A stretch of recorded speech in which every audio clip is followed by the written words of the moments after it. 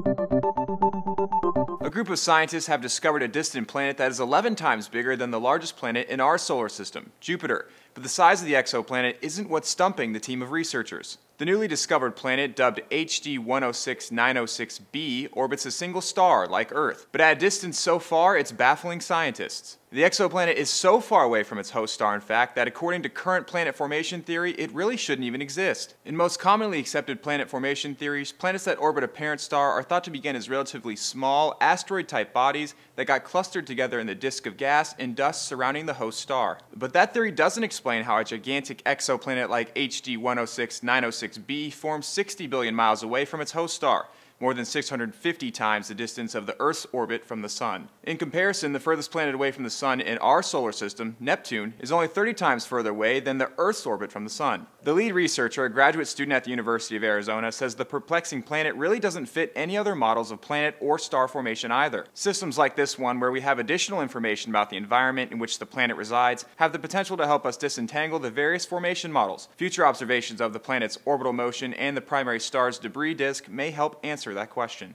HD 106-906b was discovered using a thermal infrared camera mounted on a telescope in Chile and was confirmed using data from the Hubble telescope. For Newsy, I'm John O'Connor.